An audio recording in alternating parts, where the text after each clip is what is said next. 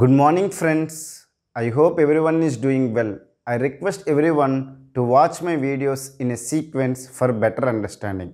If you really like my videos, please press the like button, share the videos with your friends, and subscribe to my channel. In this video, I want to discuss about Universal Turing Machine. Okay. Now till now we have discussed about the Turing machine. We have constructed Turing machine for performing unary addition, unary subtraction, unary multiplication, unary division. All these things we have discussed. Now each Turing machine is doing a single task.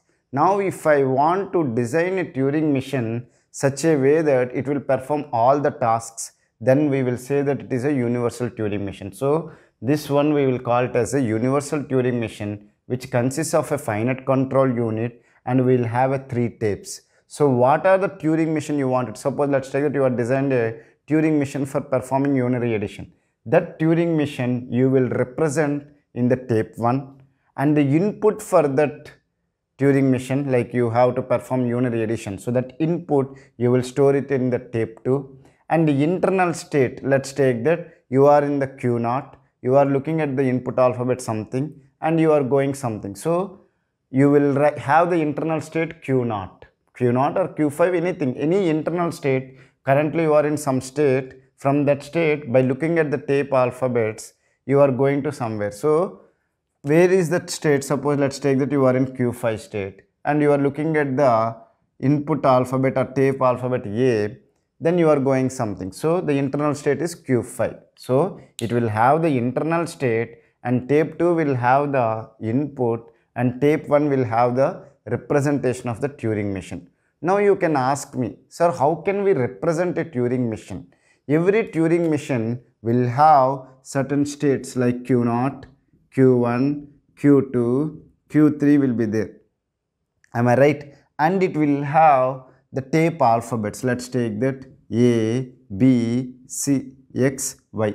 These are the tape alphabets are there okay and these are the states okay these are the states are there and these are the tape alphabets are there okay?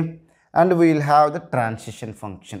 Am i right? Or the transition rules are there. If you take any turing machine it will have three things basically. One is the set of states and the tape alphabets because tape alphabets will consist of the input alphabets also okay? And you have even the blank symbol also is there. And you have the transition rules because we can represent the Turing machine with the transition rules. So now how I will represent the states in the Turing machine because we can represent either ones or zeros something only we can store but we cannot store q naught q1 like this. So what I will do is that I will perform the encoding operation. So what I will do is that let's take that I will assume see this is my assumption only q naught I will encode it as 1 okay and q1 I will encode it as 1 1 okay? Q2 I will encode it as 1 1 1 and q3 I will encode it as 1 1 1 so whenever I want to represent q naught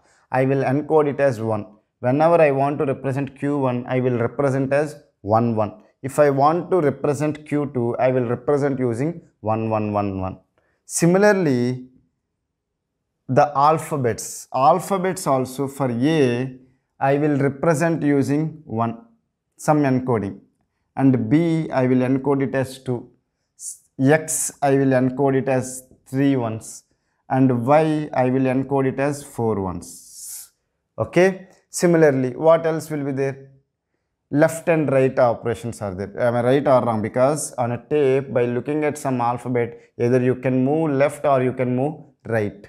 Okay? If it is left i will encode it as 1 if it is right i will encode it as 2 are you able to understand now i want to represent a transition okay what is the transition is let's take that q2 i mean some state q2 so internal state is Q2.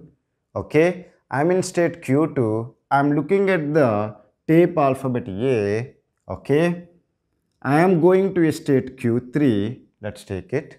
Okay. I am making it as a B and I am moving to the left. Let's take that. Okay. This is a one transition rule. okay, in a Turing machine. I am in state Q2, I am looking at the tape alphabet A, I am going to a state Q3 and I am modifying it A as a B, that is what this operation and I am moving to the left. So how I will represent this transition in a tape? Now please watch it. You are in Q2. So how Q2 state can be represented as 3 ones. So represent 3 ones. And you should delimit it because all are in the form of ones only. So for each one Q2 and then A you should separate. So we'll use a delimiter 0 okay so 0 will act as a separator now you have in looking at the tape alphabet a what is the encoding for tape alphabet a is 1 so 1 will be there. So it will be represented like this. Now it is going to a state q3 okay? Q3 which will be having a separated 0 and q3 will be represented as 4 ones okay? The tape will consist of 4 ones and then a delimiter 0 will be there okay? And b b how i will represent? 1 1 okay let's take it this one. And left left means again 0 and 1 are you able to understand? So this is the way we will represent a, any transition or any turing machine like this in tape. So we will encode each operation. Like state we will encode alphabets we will encode in some format left and right moves also we will encode. All these things and each one we will have a separator like a delimiter will be there. So q2 we will represent or we will encode it and then we will have a delimiter or a separator and then a encode it a like that we will store it so we can represent a turing machine in a tape so if you have a finite control unit and a representation of a Turing machine in one of the tape and input for that one is in the another tape and the internal states are there in another tape. Such kind of Turing machine we will call it as a universal Turing machine. If I want to perform subtraction in place of this representation of Turing machine for addition, I will represent here as a subtraction so that it will perform the subtraction.